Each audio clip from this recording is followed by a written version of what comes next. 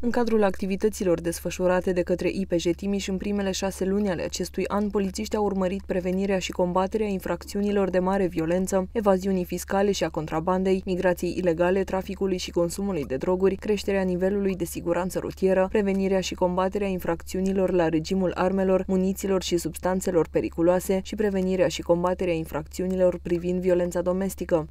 Pentru eficientizarea activităților desfășurate, polițiștilor le-au fost distribuite în primele șase luni 108 tablete, 200 telefoane pentru folosirea aplicației EDAC, 200.000 de, de, de cartușe, 190 bastoane telescopice, 50 perechi cătușe, 200 pulverizatoare iridan lacrimogen.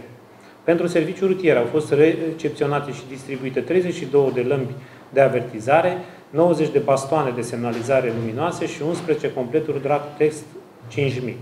S-a distribuit uniforma nouă pentru întreg personalul unității.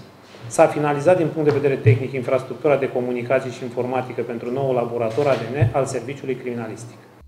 Raportat la infracționalitatea sesizată în județul Timiș, aceasta se situează sub media ultimilor 10 ani. 2840 de activități de patrulare în zona unităților de învățământ sau zona adiacentă acestora și 932 de activități educativ-preventive. Raportându-l la infracționalitatea sesizată în județul Timiș, aceasta se situează sub media ultimilor 10 ani, ponderea fiind dată de infracționalitatea de mică criminalitate. În această perioadă ne-am confruntat cu trei cauze ce vizează infracțiuni de mare violență, cu un impact mediatic deosebit, și aici vorbim de infracțiuni de omor, tentativă de omor sau loviri cauzatoare de moarte, mai puține cu trei fapte față de perioada similară a anului trecut.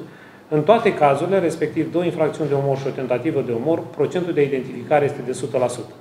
Privitor la infracțiunile stradale, au fost sesizate 553, în scădere cu 45 de infracțiuni față de perioada similară a anului 2023. Tâlhăriile au scăzut cu 3 fapte, de la 13 la 10. De asemenea, nicio faptă nu a rămas nesoluționată, iar infracțiunile de loviri sau alte violențe au, fost, au crescut cu 45 de fapte, de la 945 la 990 de infracțiuni. În ceea ce privește regimul rutier, structurile de profil ale inspectoratului au desfășurat 1941 de acțiuni care au vizat principalele elemente care generează risc rutier, fiind efectuate 1177 de testări cu aparatul drag test și 21.711